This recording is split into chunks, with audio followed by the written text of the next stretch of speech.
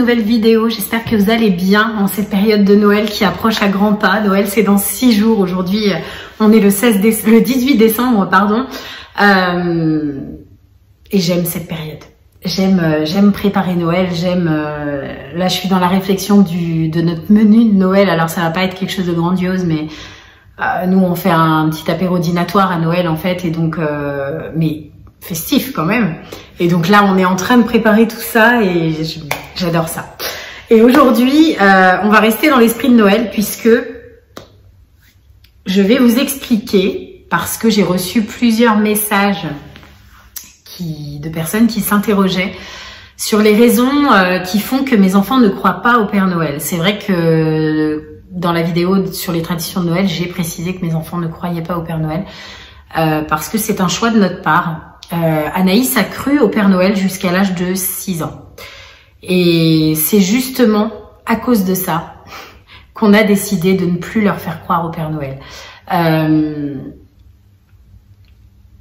à la base, on leur fait croire au Père Noël parce que, euh, bah parce que ça rend Noël magique, en fait, ça les fait rêver.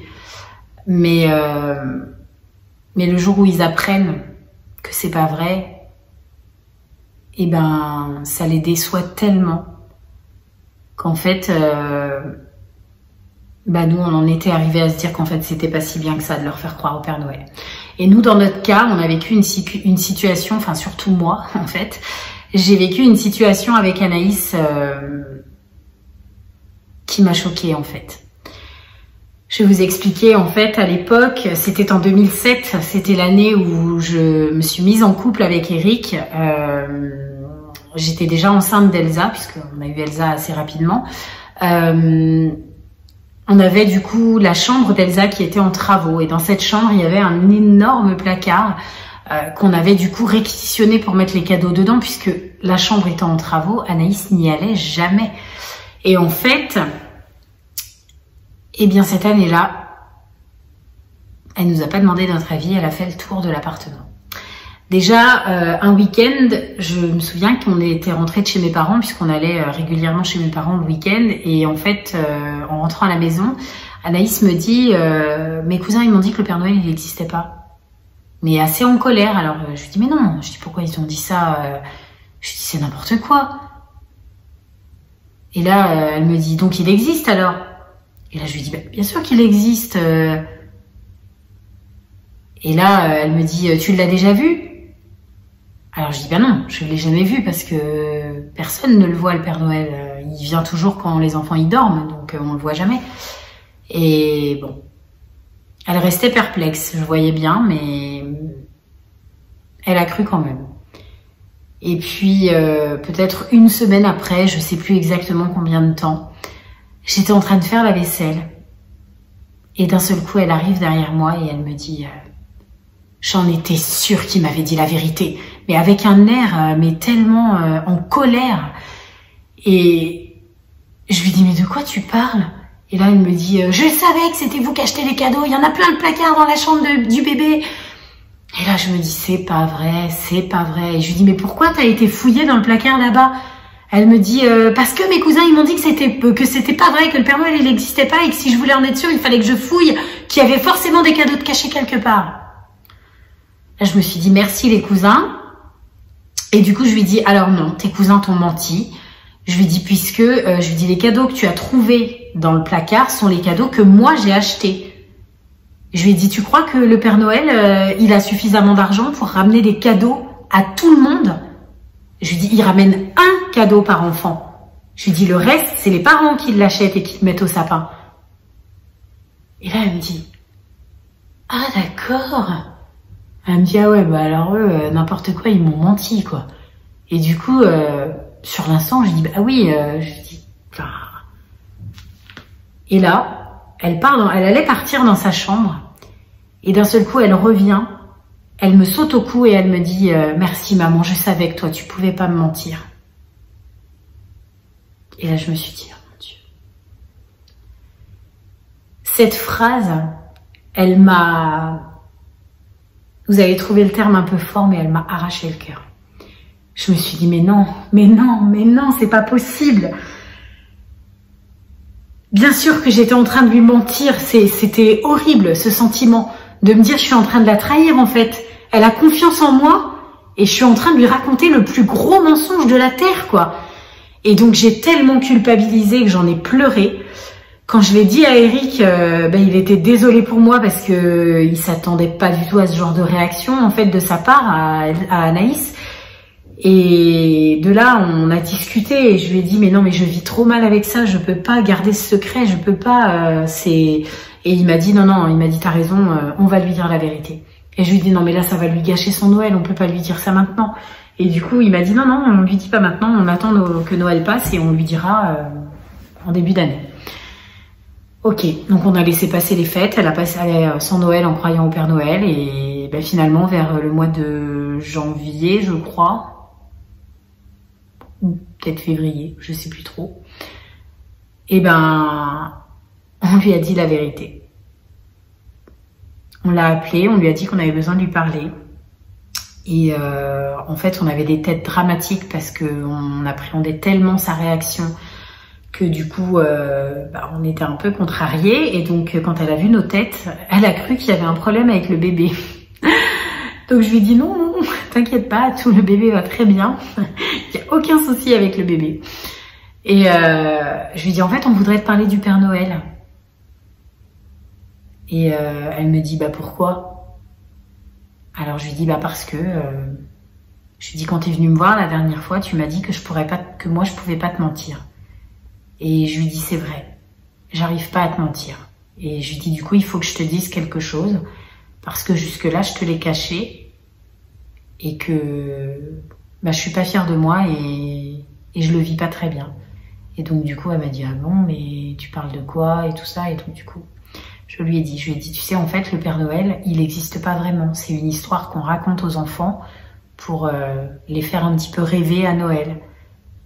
Et en fait, là, son visage, il s'est décomposé. Elle m'a regardé avec beaucoup de colère et elle est partie dans sa chambre. Et j'allais me lever pour aller la rejoindre. Eric m'a stoppé. Il m'a dit euh, laisse, je vais y aller parce que après tout, c'est vrai que c'était après moi qu'elle était en colère, donc il valait peut-être mieux que ce soit Eric qui y aille. Et donc euh, Eric a rétabli un petit peu la vérité en lui disant que bah, c'était pas vraiment un mensonge, que tous les parents disent ça à leurs enfants et que bah, c'est juste pour les faire rêver, c'est pour leur apporter un peu de bonheur, mais que c'est pas un, c'est pas un mensonge euh, méchant ou mauvais avec de mauvaises intentions, quoi.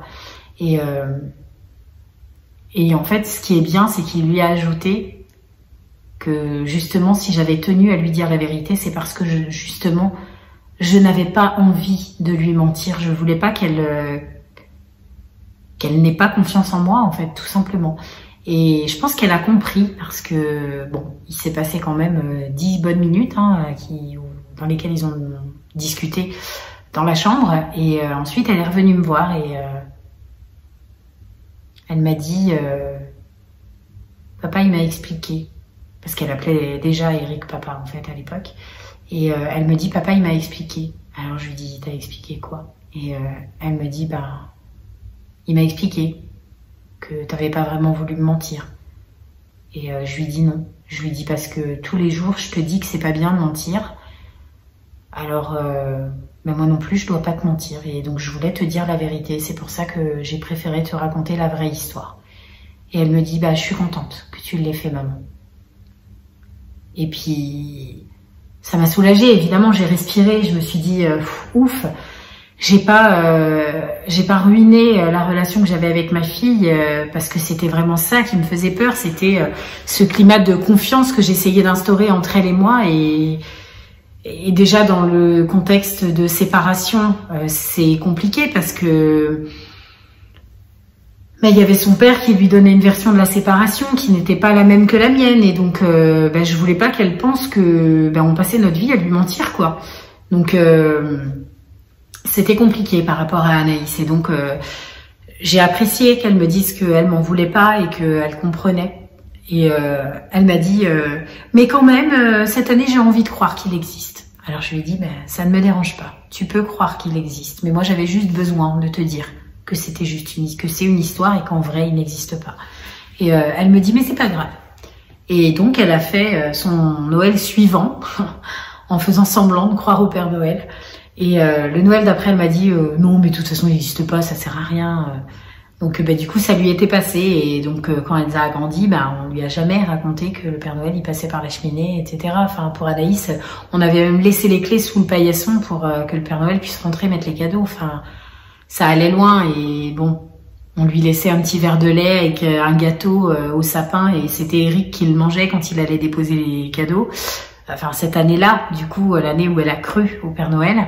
Euh, il avait mangé le gâteau, il avait bu la moitié du verre de lait et, et, elle, elle était toute contente parce que bah, elle était persuadée que le Père Noël était venu, quoi. Et bon, tout ça, on l'a jamais fait pour les, pour les, les petits, pour Elsa, Com, Adam et Marceau, mais mais ça nous manque pas parce que en fait, on leur raconte l'histoire du Père Noël. On, ils regardent des films avec le Père Noël, ils regardent des dessins animés avec le Père Noël, ils lisent des livres avec le Père Noël et ils adorent la légende du Père Noël. Donc ça ne, ça ne brise pas la magie de Noël. Euh, donc euh, évidemment, euh, bah, ils savent que c'est nous hein, qui achetons les cadeaux et qui les mettons au sapin. D'ailleurs, on les met ensemble au sapin les cadeaux le 24 décembre. Et donc euh, c'est, c'est, ça fait partie de nos traditions de Noël, mais voilà, nous on juge pas les personnes qui décident de faire croire au Père Noël à leurs enfants. Et euh, bah, on apprécie aussi de ne pas être jugé euh, parce qu'on fait le contraire. Donc euh, je sais, parce que je l'entends régulièrement autour de nous, que les gens n'approuvent pas notre décision bah, de ne pas leur faire croire au Père Noël, mais je sais qu'on n'est pas les seuls. J'ai connu, quand on habitait encore sur Chemillé, il y avait beaucoup de familles catholiques qui ne faisaient pas croire au Père Noël à leurs enfants puisque, bah, comme nous, euh, ils fêtaient Noël pour euh, célébrer l'anniversaire du Christ. Et euh, alors, oui, ne me dites pas le Christ il est banné le 25 décembre, je suis au courant. Il n'y a pas de souci pour ça, vous inquiétez pas. c'est juste que voilà, c'est la date qui a été retenue pour célébrer l'anniversaire du Christ. Donc, on fête à Noël la nativité, donc l'anniversaire du Christ. Et c'est pas moi qui ai choisi cette date, hein, c'est comme ça. Mais, euh, mais on est au courant que le Christ n'est pas né le 25 décembre. Et ben voilà, notre euh, signification de Noël, c'est ça, c'est euh, de, de, célébrer la naissance du Christ. Et on n'est pas les seuls qui ne font pas croire au Père Noël à leurs enfants. Donc c'est un choix qui nous appartient. tout comme bah, ceux qui font croire au Père Noël à leurs enfants, bah, c'est un choix qui leur appartient. Euh, nous, on ne, on ne, juge personne. Chacun fait comme il a envie, euh, tout comme chacun éduque ses enfants comme il en a envie. Euh, donc voilà, c'est c'est un choix qui se respecte dans les deux sens. Donc donc voilà. Donc j'espère avoir suffisamment répondu à la question, enfin correctement en tout cas. on a eu une petite anecdote vendredi au marché de Noël de l'école, puisque en fait les enfants ont chanté sur euh, une petite estrade qui n'était pas très haute, mais et euh, à la fin du spectacle, euh, le Père Noël est arrivé pour distribuer des bonbons aux enfants. Et quand le Père Noël est arrivé, tous les enfants étaient ouais trop contents et tout. Et Marceau, lui, il est resté comme ça, il a regardé le Père Noël arriver et puis voyant en fait l'engouement de tout le monde, il a fini par lâcher un mais non, c'est un monsieur qui est déguisé, il n'existe pas le Père Noël. Et là, je me suis décomposée. Je me suis dit, mais non, Marceau, on en a parlé à la maison. On lui a expliqué, en fait, qu'il y avait des enfants qui pensaient que le Père Noël était le vrai Père Noël, en fait, qu'il existait vraiment. Et euh, on lui a dit que bah, c'était pas à lui de leur dire qu'il n'existe pas. C'est assez à leurs parents de le faire. Et que euh, nous, on n'avait pas le droit de trahir ce secret-là, que c'était le secret de leurs parents et que nous, on n'avait pas le droit de le, de le trahir. Et euh, il avait compris parce que depuis le début il n'en parlait pas et là le fait de se retrouver confronté devant le Père Noël, bah il a un petit peu délié sa langue. Donc euh, bah, du coup je suis allée le rejoindre euh, devant l'estrade pour lui expliquer que non, on en avait déjà parlé et qu'il fallait pas faire ça. Et du coup il m'a dit ah oui c'est vrai pardon et du coup bon on est resté là et il en a pas reparlé et il a rien dit à personne. Et en même temps je pense que personne n'a écouté ce qu'il a dit parce que personne n'a réagi en fait donc, puis il a pas parlé super fort non plus. Enfin, il a pas crié. Il l'a juste dit comme ça. Mais bon, j'avoue pour la petite anecdote, c'était assez drôle pour nous, mais si les d'autres enfants avaient rigolé, avaient entendu, enfin, ça m'aurait pas fait rire, j'avoue. Mais, euh, mais sa réaction à lui m'a fait rire en fait. Donc euh, bon, c'est euh, pour le coup c'est notre petit secret à nous. mais euh, mais on se ment pas, on se ment pas les uns aux autres en tout cas, parce que voilà, c'est on leur apprend tous les jours à dire la vérité et justement à ne pas dire de mensonges parce qu'on leur répète sans arrêt que c'est pas bien. Et du coup, euh, bah, nous on, vivait mal avec cette idée de bah, de leur mentir, quoi, parce que je pense que le Père Noël, la petite souris, euh, les cloches de Pâques, c'est quand même pas les principaux mensonges qu'on fait à nos enfants. Donc, encore une fois, c'est un choix personnel. Voilà. Eh bien écoutez, j'espère que cette petite vidéo vous aura plu et que vous comprendrez notre choix. Euh, en tout cas, chez nous, ça n'enlève aucune magie à Noël, vraiment. Donc, euh, on aime, on aime tous les livres, les films, les dessins animés qui parlent du Père Noël. On adore croiser le Père Noël dans les magasins. On fait la photo avec le Père Noël euh, quand on a l'occasion de la faire et et on en parle du Père Noël à la maison, même si voilà tout le monde sait que c'est pas lui qui viendra amener les cadeaux, mais on en parle quand même. Donc voilà, c'est notre façon à nous de vivre Noël avec la légende du Père Noël. Et bien sur ce, je vais vous souhaiter une bonne journée. N'oubliez pas de liker la vidéo si vous l'avez appréciée et bah, de vous abonner si ce n'était pas encore fait. Euh, demain, du coup, demain c'est jeudi pour moi. pour vous, ce sera vendredi demain. Euh, et donc, vous aurez euh, un nouveau vlog en ligne vendredi. Cette vidéo, donc puisque je la tourne mercredi, elle sera en ligne jeudi matin. Et donc vendredi, samedi, vous aurez des vlogs. Donc ben, je vous en souhaite euh, bon visionnage. Merci pour votre fidélité à la chaîne. Merci pour les gentils commentaires que vous me laissez sous les vidéos. Enfin pour certains, parce qu'il y en a d'autres qui sont pas très gentils, mais ceux-là, je préfère les éviter. Mais en tout cas, vous êtes de plus en plus nombreux et ça fait vraiment plaisir. Et, et bien pour ça, je vous remercie. Je vous fais des gros bisous et je vous dis à très vite pour une nouvelle vidéo.